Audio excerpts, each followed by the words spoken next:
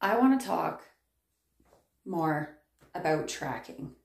In a previous video, I shared that I have been using the sticky note calendar to help find a balance between giving myself grace, not being upset if I would like to rest and not stretch or not go for a walk, just chill, and then also remaining disciplined.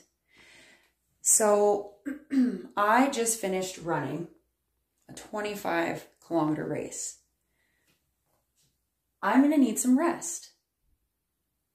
If I'm tracking and recognizing when I've been resting versus moving, that visual can then help maybe in that situation where I'm wanting to give myself grace, but then also reflecting that it's been like two or three weeks that you haven't maybe gone for that walk or taken time to stretch.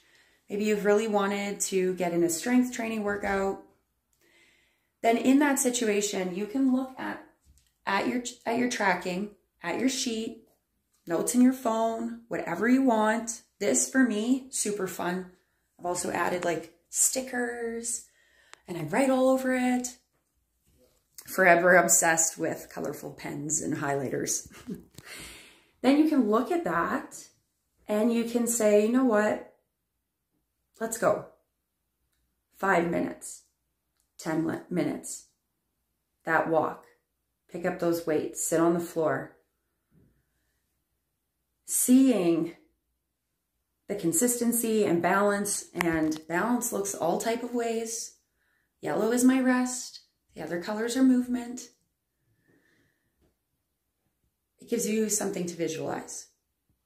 And for me, that visualization of tracking can help me find that balance of adaptable discipline so that I give myself rest and grace when I need it and then I'm moving my body in any amount so that I'm also feeling my body that way because we need to fuel in lots of different ways.